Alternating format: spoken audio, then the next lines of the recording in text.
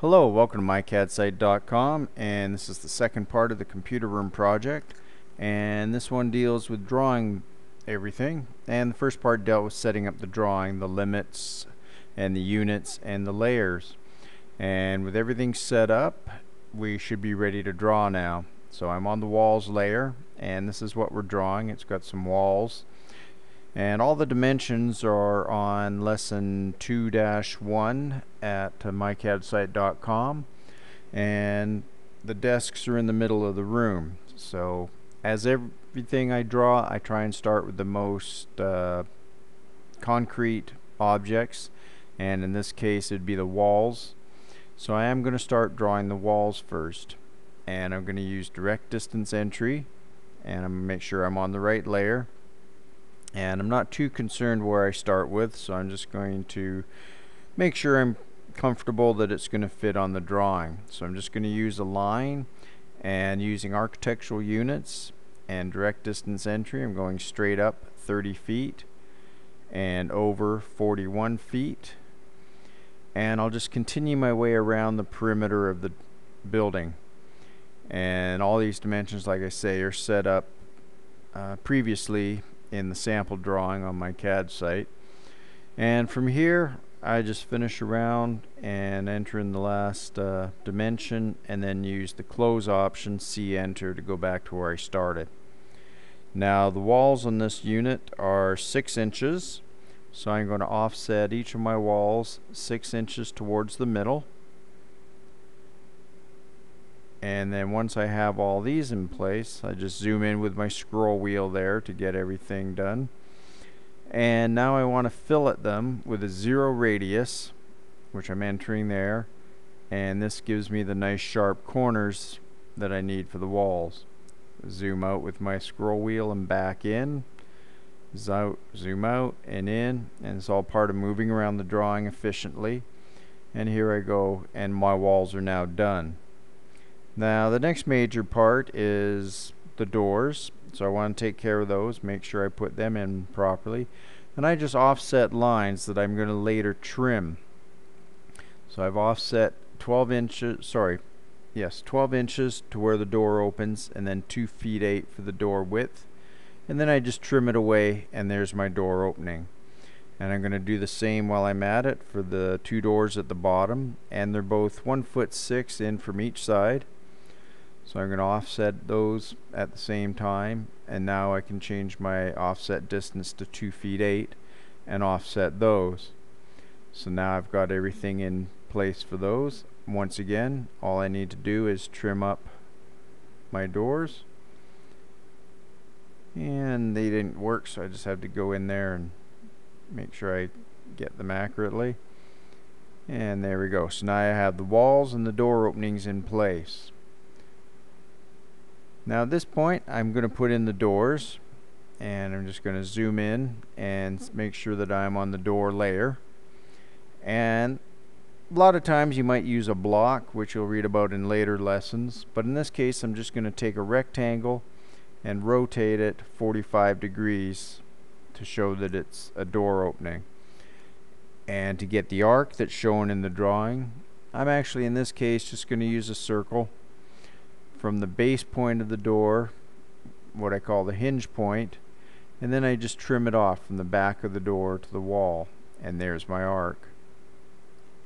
And once again I'll do the same thing here starting with a rectangle for my door and rotate it and just using polar settings I rotated it 45 degrees and now once again I'm just going to trim the circle off like so. And since it's the same door that opens uh, a different way on the other end I'm just going to mirror it using the midpoint of that wall. And so now I've got my wall set in place on the bottom left corner as well.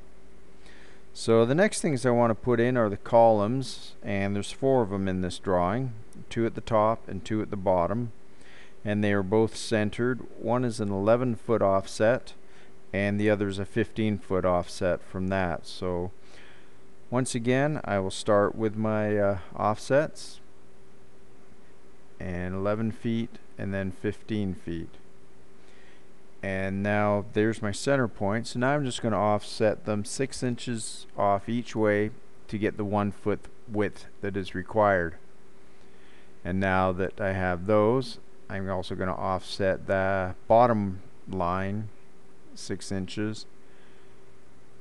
And then I've offset the top one 12 so those are all the lines and I'm going to put that on my column layer which is unfortunately very hard to see in the video. And I will change that later. So I'm just going to trim everything up. And I think you just have to trust me here. They are actually there. And you can just see them faintly but I am trimming it up just like I did with the walls and the doors. Trim command start with your uh, trimming edges and then with the objects to be trimmed. And here I'm just erasing the lines in the middle. These were part of the original uh, lines that I did. And now zoom extents so I can see the full drawing again now just so you can see that I actually did create the columns I am just going to set this to a new color and these will show up a lot better for you. So now with those in all I need to do is put in the desks and I've put that onto the furniture layer and all the desks are two feet wide by five feet long. So I'm just going to start a rectangle and put that in at five feet comma two feet using relative coordinates. And to get the rows here I am just going to start the array command. And I need two rows of four columns in this case. And I will select my desk. And uh, one way of getting the offsets is I can also just pick it because I want them all right next to each other. I've just picked the two corners of the desk. Now they're there where I need them and I accept the what the arrays have given me and from there I'm just going to need to copy them up to get the second set of eight desks. And I'm copying them up here uh, seven feet. And right away I've noticed that I actually should have done it nine feet. So I'm just going to move them up again that same set and move them up two feet just picking on the height of the desk. And now just confirm that that that's five feet. And I don't have my dimensions set up and that's set to 60 inches which would be the same as five feet.